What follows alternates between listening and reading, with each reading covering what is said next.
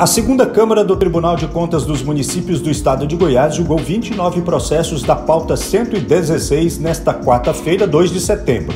Foram aprovados balancetes, aposentadorias e pensões das cidades de Ouro Verde, Pameri, Mutunópolis, Santo Antônio da Barra, Caturaí e Eitoraí, entre outras.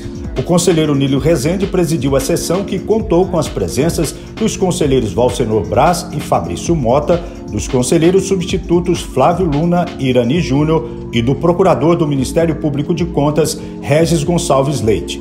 Todas as sessões do tribunal podem ser acompanhadas ao vivo pelo canal do YouTube.